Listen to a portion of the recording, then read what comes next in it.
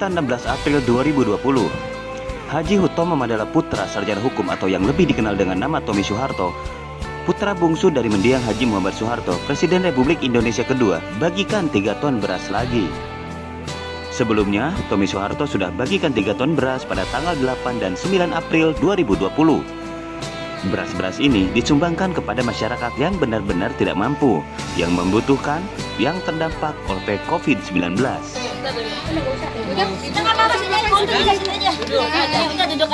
Sini mak, ini dari Pak Tommy Soeharto ya mak, dari Partai Berkarya ya mak, buat meringankan dari Amin, doain ya Pak Tommy Soeharto nya sehat-sehat juga, biar bisa juga tengok-tengok Yang membagikan beras pada tanggal 16 April 2020 adalah tim di balik masker yang terdiri dari sayap dan ormas yang berafiliasi kepada Partai Berkarya.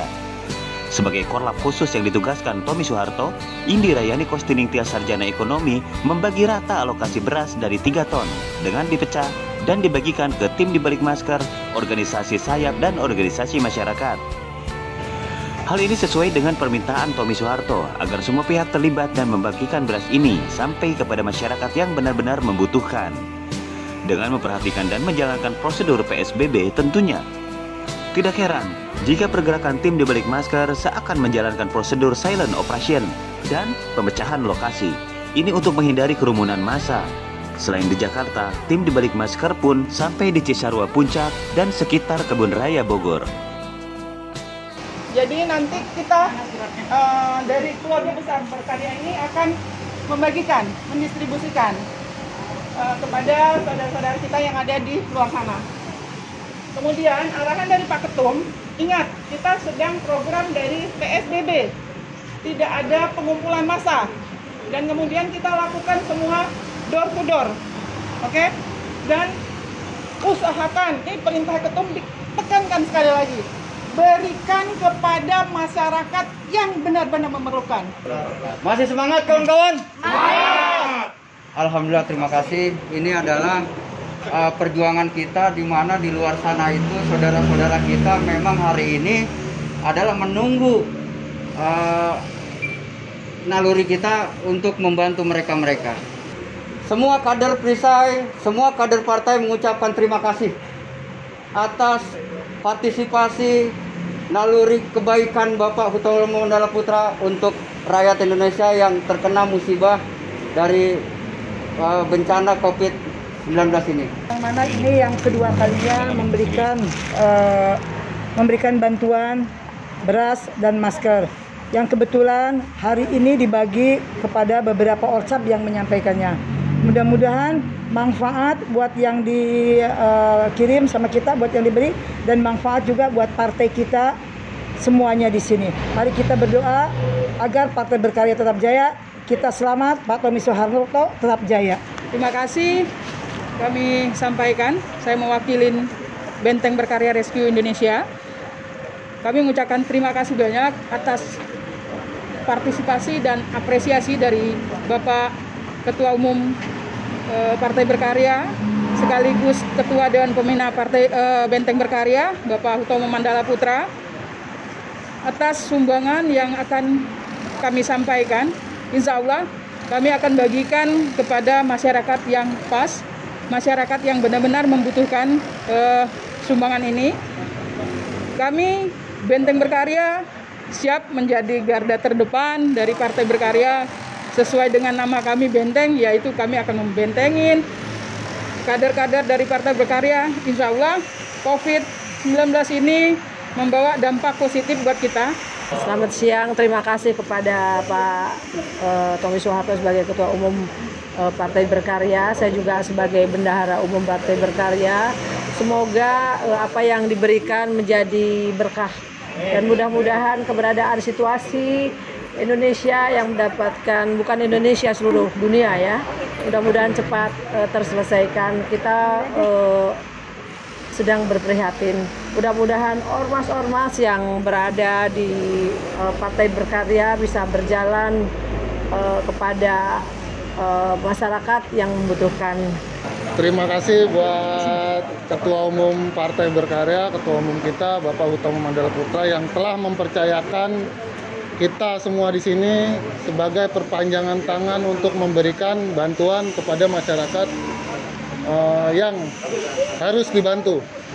Di sini pasti pembelajaran yang kemarin kita dapati di lapangan pasti ada like and dislike. Saya berharap uh, bahasanya tolong dijaga karena nanti ketika kita memberikan bantuan satu pasti tetangganya rame. Nah, uh, harapan saya dengan kalimat kita bukan pemerintah, kita hanya membantu sesuai dengan kapasitas kita. Doakan saja Bapak Utama Mandala Putra panjang umur, disehatkan jiwa raganya agar bisa terus membantu. Nanti next, insya Allah kalau memang silaturahmi panjang, kita bisa berikan. Itu aja himbauan saya kegiatan yang akan kita laksanakan ini mendapatkan ridho dari Allah Subhanahu wa taala. Amin. Dan mudah-mudahan perjalanan kita dari kampung-kampung untuk membagikan sembako ini semua dilancarkan oleh Allah Subhanahu wa taala. Amin. Allah hadinia Nabi Muhammad Rasulullah Al-Fatihah. Selamat siang sahabat berkaryaku di mana pun berada. Orsap, Ormas yang berafiliasi ke Partai Berkarya di mana pun berada ini adalah implementasi dari perintah Ketua Umum Partai Berkarya Bapak Haji Utomo Madala Putra untuk menyalurkan 3 ton beras lagi. Yang menarik pada pagi ini ketika Ormas dan Orsap bersatu di sini. Kita satu kesatuan. Dan seperti yang sudah disampaikan oleh Ibu Indira Yani Kostiring Tias, ini kebersamaan. Dan saya Raja Karya akan merekam dan saksikan hanya di Sahabat Berkarya YouTube channel.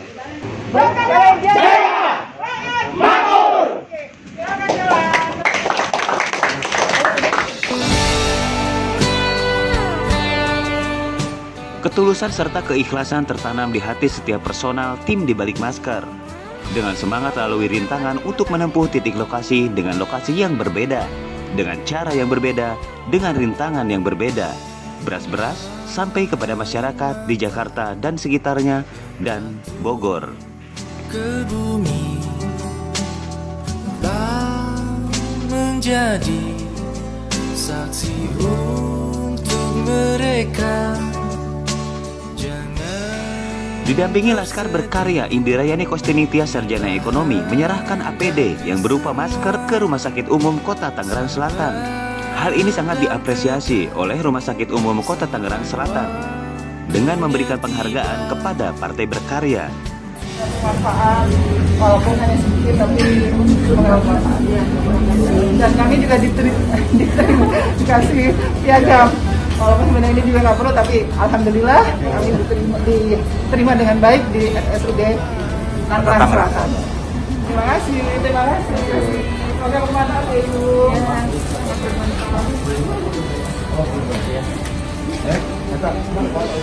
Dengan dibuatnya vlog ini bukan juga untuk bermaksud ria dengan menunjukkan tim di balik masker bagi-bagi beras dari Tommy Soeharto. Namun jadikanlah vlog ini sebagai inspirasi untuk siapa pun yang melihat tayangan ini, di mana tim di balik masker Tommy Soeharto yang menyalurkan bantuan beras untuk masyarakat yang paling membutuhkan.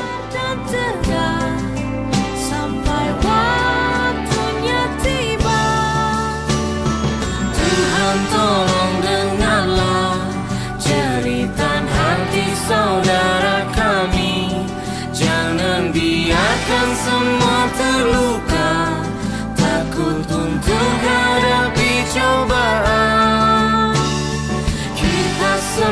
saudara Tak pernah lelah dalam berdoa. Untuk mereka di sana Kami semua kan selalu ada. Melewati rintangan dan medan yang sulit bukan hambatan untuk tim di balik masker menyalurkan beras. Ini tidak seberapa dibanding masyarakat kecil yang membutuhkan bantuan. Kami bukan organisasi pemerintah, kami hanya keluarga besar dari sebuah partai politik, yaitu Partai Berkarya, yang saat ini ketua umumnya adalah Haji Hutomo Madela Putra Satyana Hukum atau Tommy Soeharto. Ini hanya sebagian kecil yang bisa kami lakukan untuk membantu meringankan masyarakat kecil yang benar-benar membutuhkan. Dan sebagai partai politik yang bisa hadir di negeri ini karena dukungan masyarakat. Maka dari itu, mari bersatu melawan corona. Salah satunya dengan menumbuhkan semangat berbagi. Di tengah wabah COVID-19 atau Corona ini, saatnya berinovasi. Tidak sekedar membagikan beras saja, khusus sahabat berkarya. Memberikan edukasi kepada milenial adalah hal utama. Ini dimaksudkan agar milenial bisa kuat dan mampu membantu masyarakat yang kurang mampu di sekitarnya, di sekitar rumahnya. Hasil sharing sahabat berkarya di Cisarua Puncak dengan jajaran pengurus DPC Cisarua terkait rencana pembukaan posko bantuan akan dibawa ke petinggi Partai Berkarya dengan memperhatikan dan menjalankan prosedur PSBB tentunya. Elhan Jakaria, sahabat berkarya.com mendukung penuh setiap gerakan yang sifatnya berbagi yang dilakukan oleh pengurus Partai Berkarya atau oleh siapa pun yang melihat tayangan vlog ini. Karena berbagi bukan berarti mengurangi milik kita. Mereka di sana, kami semua kan selalu ada.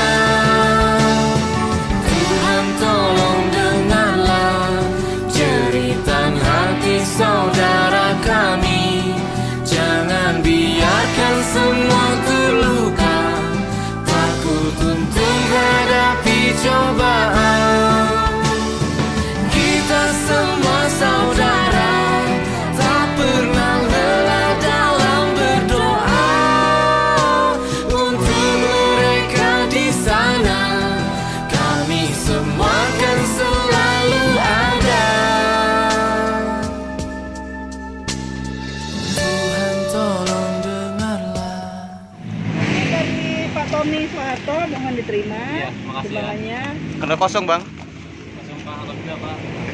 Dari daerah, daerah mana? Dari daerah mana ini? Daerah mana? Bojong. Bojong ya, Bogor ya. Terima kasih untuk Bapak Tommy yang sudah memberikan aksi nyata berupa beras kepada masyarakat kami. Semoga Allah memberikan rezekinya yang lebih banyak lagi. Amin. Terima kasih Partai Berkarya. Terima kasih Partai Berkarya.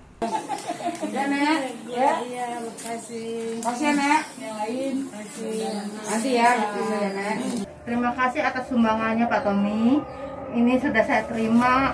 Alhamdulillah berkah saya terima dengan ikhlas dan rela. Makasih Keluarga mana? Keluarga eh, siapa? Nama kelurahan ini? Keluarga keluarga Kelurahan Cikulir. Pak Tommy, terima kasih atas bantuan berasnya untuk keluarga saya. Mengucapkan terima kasih atas bantuan dari Bapak Tommy Soeharto, Partai Berkarya.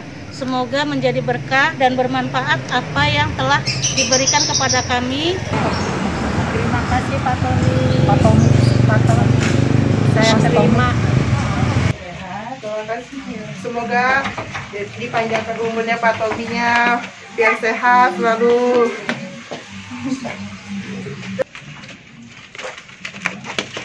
Terima kasih Bapak Tommy Soeharto, sumbangannya sudah saya terima. Saya doakan semua semoga keluarga Bapak Tommy Soeharto sehat selalu. Ini dari daerah Popo, Cisarua. Terima kasih.